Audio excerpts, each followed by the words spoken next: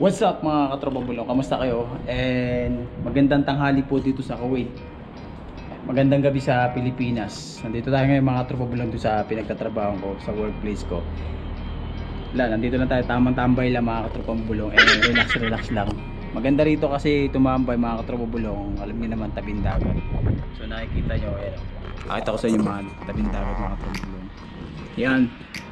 And then may mga yati doon. So, ngayon mga katabulong ngayong araw to, walang ganong ano ah mga magdagat na sasakyan, mga jet ski. Saka yung mga barko, walang gaano. Kasi nga may naghihigpit sila rito mga katrabulong kasi mismo pati mga jet ski nuhuli rin saka yung mga yate. Yan, ito papakita ko sa inyo mga katrabulong yung workplace ko dito. Yan. Diba? Yeah, may ate dyan mga katrabulong. So mainit dito mga katrabulong kasi ah, ano yun, sobrang init. Summer. Lumabas ka dito, sunod ka. Kaya dito dito sa tinatayuan natin ay medyo may ano naman siya. May bubong saka may pader. So yeah mga katrabulong, kamusta kayo guys? And welcome back again to my YouTube channel. So ano pong balita sa inyo mga katropang pabulong? Sana nasa mabuti po ang kalagayan. At ayun, nandito tayo guys. Pinakita ko lang sa inyo mga katrobulong itong place na to. Dahil nga dito ako pumupunta at tumatambay pag break ko eh wala tayong ginagawa. So tambay-tambay lang dito guys. So titignan ko yung dagat. Yan, nakaka-relax kasi pag tinignan mo yung mga yung dagat, mga katrobang bulong. Diba? Yan oh. Very smooth, tahimik. Eh nandun po yung ano yung Kuwait oil. Yan. Nakita yung tulay na yun mga katropa bulong. Yung tulay na yun yun. Pero may taas to mga katropa bulong. Pwede kayo makit sa taas. Ito. Pwede kayo makit dyan. Makit kayo sa taas. Tignan natin kung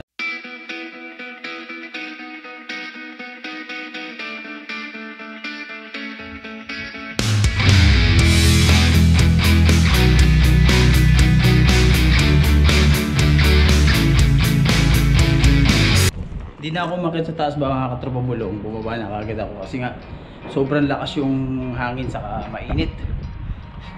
Di na rin ako magtatagal dito kasi alam niyo naman mga katropa bulong pag tumagal ka dito sa taas, sa labas, sa taas tuloy. Sa labas, talagang nakakasunod ng balat. Hindi mo kakayanin. Iba kasi yung init dito mga katropa bulong at ah, iba din yung init sa Pilipinas, no? Sa Pilipinas kasi kahit mainit, at least hindi mo okay lang sa balat. Kasi dito pag lumabas ka and sobrang init talaga. Lu ano, sunog yung balat mo dito mga katropa mo. Pwede na! sunog yung balat mo saka yung itlog mo sunog dito. Kaya ayan napakainit talaga. So mamaya papasok na ako dun sa mall. Hindi na rin ako magtatagal kasi nga hindi ko kaya yung init sa labas. Bahala ka sa buhay mo. Ginusto mo yan. Nakakauhaw yung init niya. So pinakita ko lang sa inyo mga katrabulong tong workplace ko. Maganda kasi dito tumambay pag winter. Pag winter talaga saka sarap magkape-kape dito. Ayun, kita niyo yung workplace ko na yun. Ayan o. Hanggang dun. Kita niyo yan. Maganda yan pag gabi. Kasi may fountain siya ron mga katrabulong. Saka tabing dagat siya. So yan. Pasok na rin ako kasi nainita na ako. Hindi ako tatagal dito sa labas. Kita nyo naman walang ganong tao. Hindi nyo nakakita na walang ganon talagang tao dito mga katrabulo. Kasi nga sobrang init. Kaya wala pang tao. Yan. Walang katao-tao.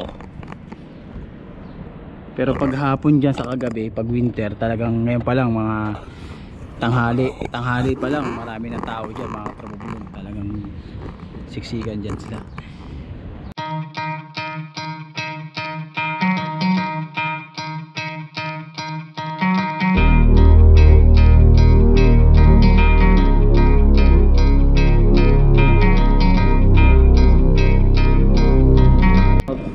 Ako dito mga katrobulong sa mall.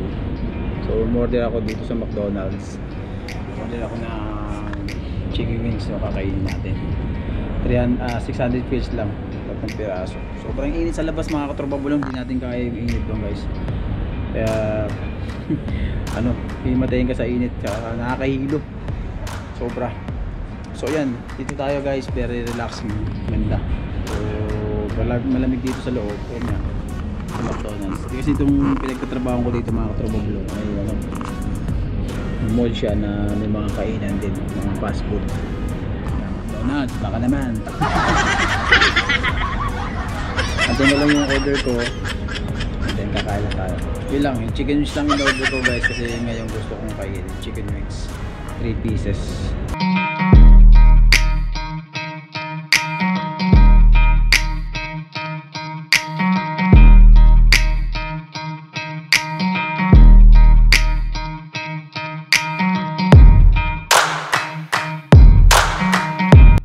So yan mga katrabubulong, ito na yung order natin guys. Yan. Chicken wings lang naman sa sweet chili, sapat na yan mga katrabubulong. Kaya kakain natin.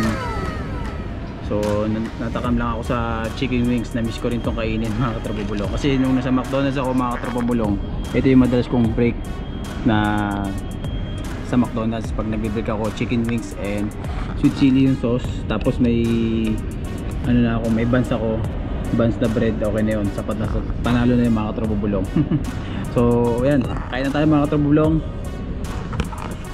Let's eat. Try na natin tong chicken wings. So, actually, na minsan nagdadalawang order ako nito. Yan, dalawang order ang ginagawa ko. Pero ngayon, isa lang muna order natin. So, namiss ko lang dito kainin. Kain po tayo mga katrabulong.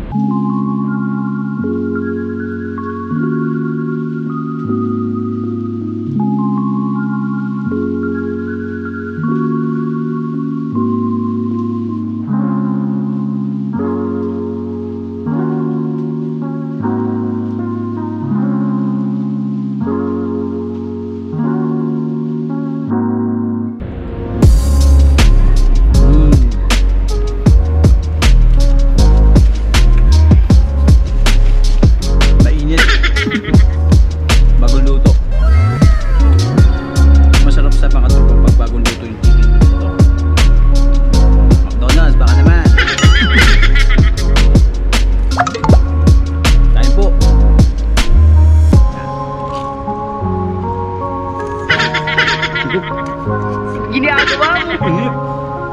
A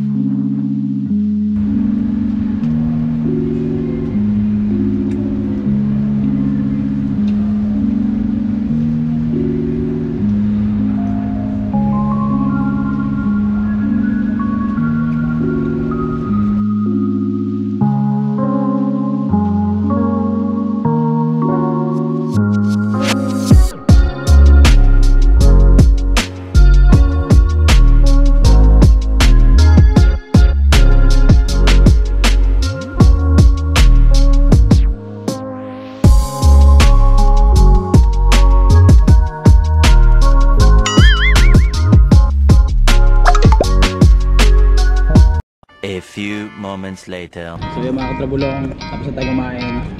Antay na ng oras eh. Babalik na rin ako sa trabaho. Ayun. So,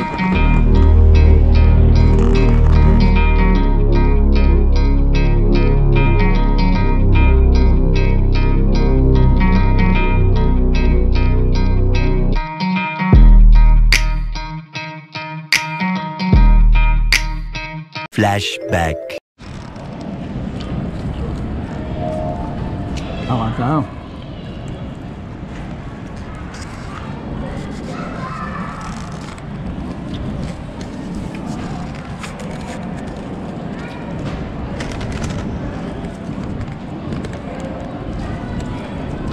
Pwede lang doon na. 9-9. Kaya na niya, no? Tagal. Tagal Ano ba yun na? Tagal na. 5'9 ako eh. Ikaw eh. 5-5-1. 5-5 ako eh. 5'5", 1-6. 5'5", 1'6", 5'9", 8'3 ako. So dati pala mga katropa bulong, ah, yung number namin sa McDonald's ay sobrang baba pa. Pero ngayon, yung mga bagong crew ng McDonald's ngayon ay sobrang taas na. Nasa 99 na. Nasa 1,000 na, no? 1,000 plus. Masaya sa McDo. Lalo na pag ah, nasa loob ka na, uh, katrabaho kayo sama-sama. Mga Pilipino, pero may mga ibang lahi din na kayo kasama. Yung mga, mga buhay, ano, ex, ex-crew, McDonald's, yan. Lahat ng fast food, masaya. Basta yung ah, mga Pinoy na kasama ka doon sa loob. Katuwa ang kulitan eh, no boy, no? Ngayon, kulang siya. Oh. Ngayon kulang sila ng staff ngayon. Wala kasing pumapasok from ibang ano bansa. Kaya sa Pilipinas wala silang makuha kasi naka-lockdown pa rin po yung ano. Hindi basta-basta po makakuha ng mga staff from Philippines or Nepal, Indian like that. Yan. Tanggalin mga karubrong. Kain muna po kami. Bakit tayo?